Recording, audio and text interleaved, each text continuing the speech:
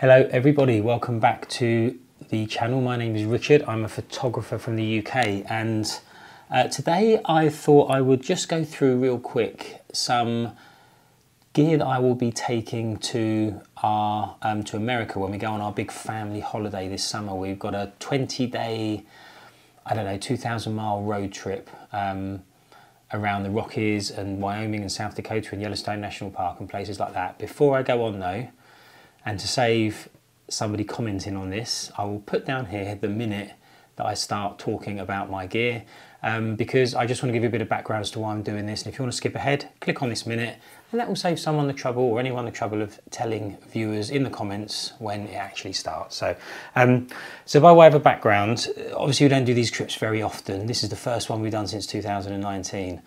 And as a result, I want to make sure that I capture everything I can. So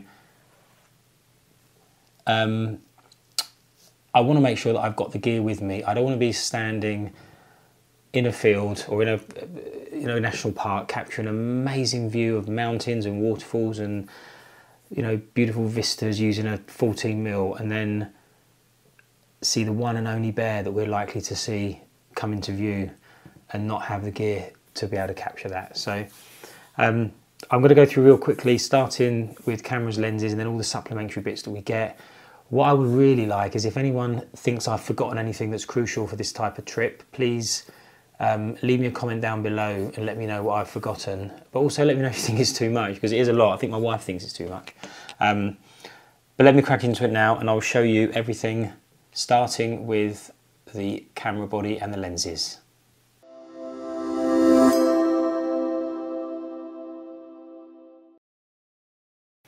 Okay, so for those that have watched the channel before, may know that I have a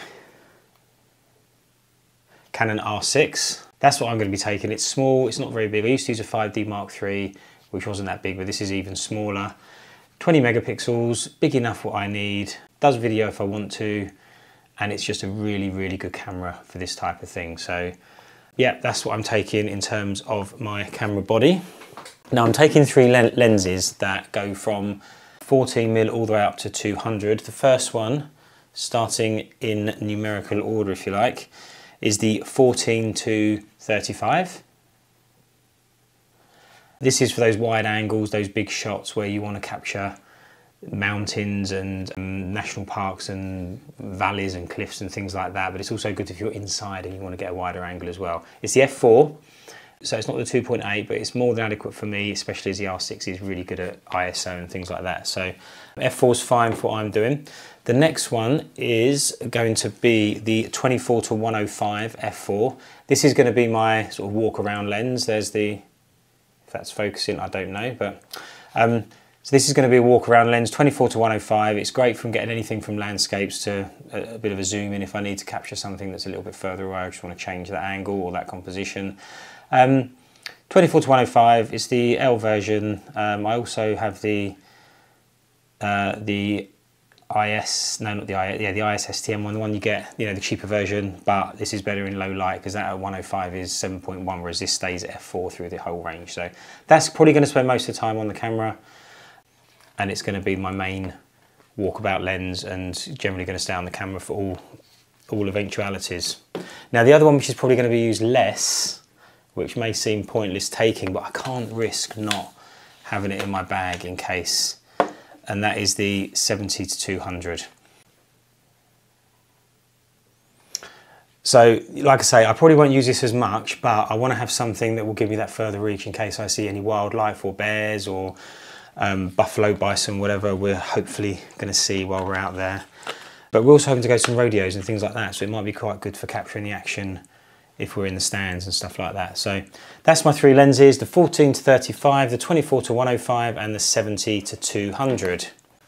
Uh, so I've got an iPad here that I'm just reminding myself because I don't do this very often.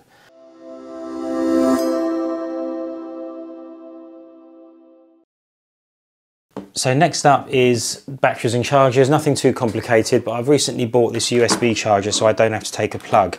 It's USB-C charger by KNF, KNF, KNN, KNF. Um, so it takes two batteries and it's a USB-C lead which charges up pretty good, pretty neat.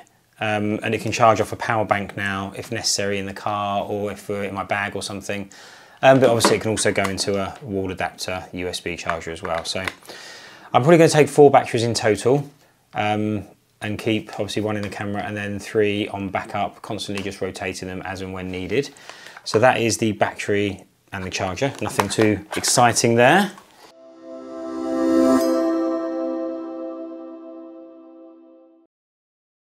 Next up is a backup solution. Now I did a video on backups a little while ago and I'll put the link up here or down below. And it involves using a card reader. It involves using a one terabyte SSD hard drive and it involves using my iPad. Basically what that means I can do is I can plug all of these or both of these into my iPad. That goes in first. This goes in one of the ports there's a card reader slot for the card, memory card to go in, and I can basically transfer all of my photos from my SD card onto this hard drive just using my iPad, which I'm always going to take my iPad anyway. Um, so it's just these two extra items that I um, am taking, which don't take up much room, but it means that I'll have three backups because in my camera I will have, uh, which let me just show you the problem I've got though. Um, so I've got two memory slots in here. Hopefully that's focusing. But one of them doesn't stay down anymore. But the door, the door does keep it down. I'm really sorry if that's not in focus because I haven't got a screen on this camera so I can't tell. Um, but it still records to it and it only happened a week ago and I won't have time to get it fixed. So I'm hoping that it will last through the holiday. I do have two memory cards in here and I always record the same thing to both cards. So I've automatically got two copies and then I have a third copy when I transfer it to this hard drive. If for some reason this one stops working and I can only record to one, then I'll just have to be super certain that I'm transferring regularly to the hard drive to make sure that I've got my second copy. But I'm hoping it will get me through the two or three weeks. Um, I didn't want to send it off and risk not getting it back in time. So that is my backup solution because I want to keep all those pictures super safe, obviously.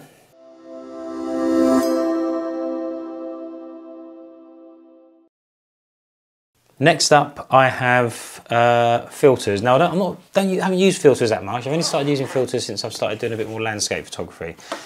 But both of my shorter lenses, the 24-25 and the 14-35, have, have magnetic filtering on them.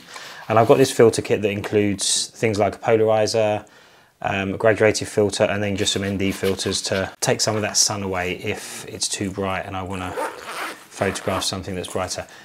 For the holiday I'm doing, it's going to be no fixed photos, not going to be like a serious landscape shoot. Whether or not I'll use these, I don't know, but I want to take them just in case. Um, because they're so easy to use, just clip on and clip off again. Um, and I just want to make sure that if I need them, I've got them. So that is also what I'm taking. Oh, and I take, so I didn't mention this with when I was talking about memory cards. I just got this little uh, hard case that has got six, eight, 10 memory cards in that I just use, swap out when I need to. Yeah, that's how I carry my memory cards.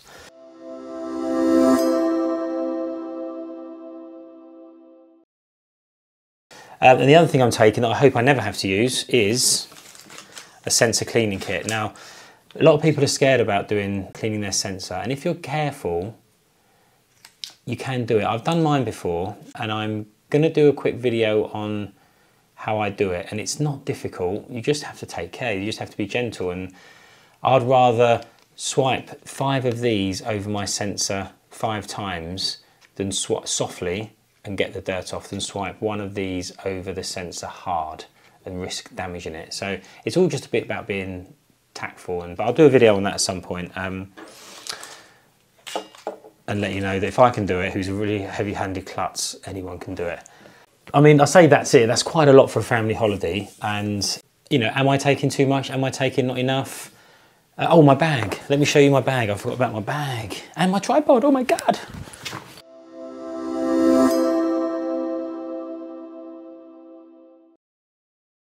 Okay, so the bag I'm taking, I didn't want to take a rucksack because I wanted to make sure I had a shoulder bag that I can basically, um, I don't know if this is going to show on the video, but it's going to basically going to be over my shoulder and it'll just be easy to open and, you know, kind of get stuff out without having to put it on the floor. I can do it walking around.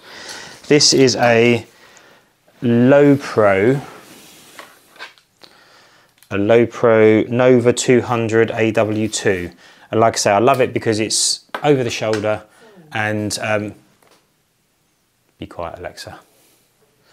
Um, I can put it over the shoulder and I can change cameras and lenses without having to take a rucksack off. And so if you're in a crowded area, we're going to Mount Rushmore, for example, I want to make sure that I can, you know, if we're queuing up or something, I can manage my gear without having to have a big rucksack. So that is the bag that I'm taking.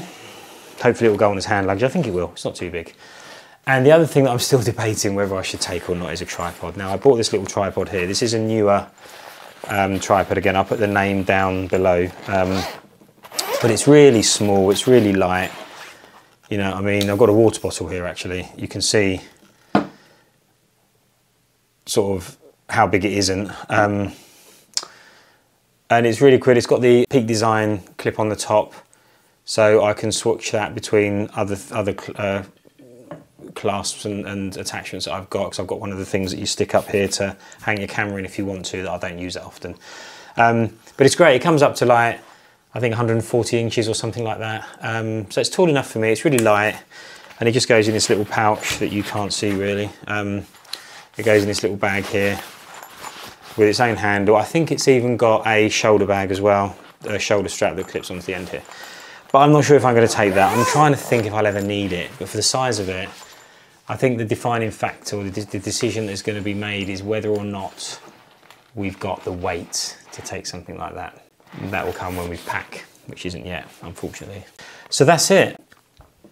So like I say, let me know down below if you think I've forgotten anything or if you think I'm taking too much or if this is crazy to take on a family holiday. Bearing in mind, who knows when we're going to be going back to the American Rockies and Mount Rushmore and Yellowstone and um, Grand Teton and Aspen, another place we're going to, and Denver and all these places that we probably won't go back for years and years and years and years, if ever again. So I want to make sure I've got the right gear for the right situation. Um, yeah, if there's anything here you like the look of that you've not seen before and you'd like to get one, there is a link down below to my um, Amazon storefront. Obviously, it's an affiliate link. It doesn't cost you guys any extra, but if you do purchase from there, I get like a, about three pence kickback depending on um, how much you spend. So, yeah, it'd be great if you decide to buy anything to check out that link below. And don't forget to click the like button and give me a thumbs up, obviously, when that happens. That will be useful for the channel or gets it in front of other people that may enjoy the content and subscribe if you've not subscribed to the channel. It'll be great to have you along. Loads of stuff coming up. Uh, and that's it for now. Thank you for watching and we I will see you in the next video.